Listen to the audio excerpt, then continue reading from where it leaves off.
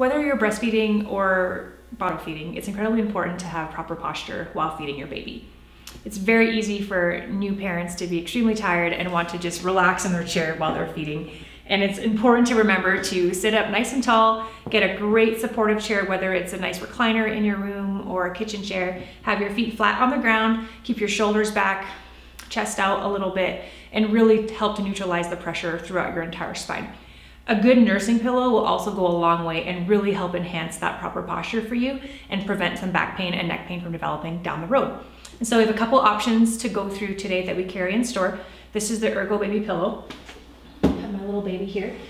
It just rests nicely on your lap. It's a nice curved form, helps support baby and brings them to the correct position so that you can either feed or nurse in a natural way. A few other options are the My Brest Friend nursing pillow. So this one is incredibly lightweight. It actually cinches around your waist. And so depending on your body type, you can get it to the right height for you and really support your baby so that you're not having to cradle them as much. So if we grab our baby here, there are two little bumps on the sides, little extra support pillows to help with their head as well. And so you can see that you can either raise it or lower it based on your body type to really get baby in the best position for you while you're feeding or nursing. The back support also helps you keep that really nice arch in your low back to take some stress off your shoulders, your mid back, and your neck as well.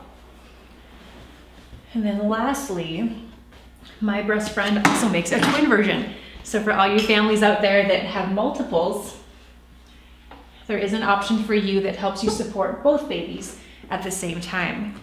And so here we have a bit of a larger pillow with extra lumbar support in the back that comes off as well. It's removable if you need to.